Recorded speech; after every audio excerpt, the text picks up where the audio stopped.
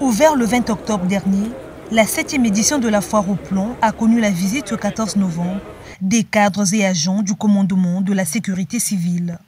Cette visite de plus de 120 agents de cette entité, conduite par le général Albert Ngoto, commandant de la sécurité civile, aura permis à ces derniers d'explorer sous l'œil technique des cadres du PRONAR les plans favorables à la lutte contre les érosions en lien avec le thème de la célébration de la Journée nationale de l'arbre. Nous ne pouvons être que satisfaits et cela euh, montre l'intérêt, n'est-ce pas, de la sécurité civile dans la lutte contre les érosions et euh, nous avons présenté trois, quatre plantes, euh, notamment pour la lutte contre les érosions. Il y a, il y a, les vétivers, il y a la citronnelle chinoise, il y a l'eucalyptus euh, Citrodora, l'eucalyptus, le, le, PF1, il y a euh, l'acacia mangeom. Et donc, c'est des plantes qui sont euh, très utiles euh, pour la lutte contre les érosions. L'objectif de cette visite était de concilier l'importance que revêtent les arbres et les missions de la sécurité civile,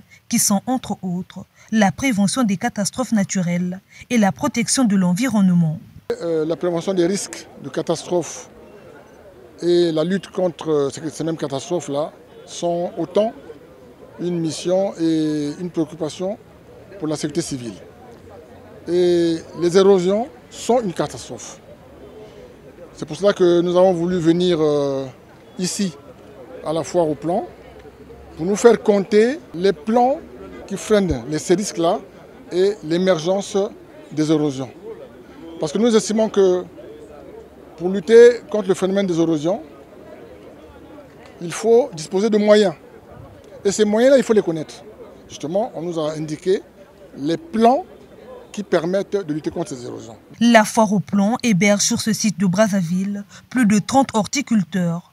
Organisé dans le sillage de la Journée nationale de l'arbre, le rendez-vous des mains vertes connaît cette année une véritable affluence, à en croire les statistiques de vente des plombs présentées aux sapeurs-pompiers. Pour ce qui est de Brazzaville, nous avons cette année 27 exposants et actuellement, selon les données qui m'ont été transmises, nous avons déjà vendu 29 575 plants qui ont été vendus, à savoir les arbres fruitiers, donc les, safoutiers à hauteur de 9 852 plants et les avocatiers à 8 477 plants.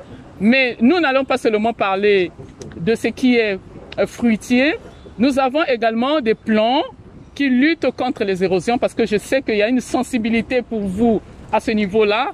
Donc nous avons des plants comme euh, les vétivers, le montalis, l'acacia et le calyptus dont euh, le rôle est de fertiliser et de stabiliser le sol. La mission première, évidemment, c'est de lutter contre les érosions. Et c'est ces plans-là que nous avons promus lors de la célébration de la journée de l'arbre. La foire au plan de cette année connaîtra son épilogue le 30 novembre prochain.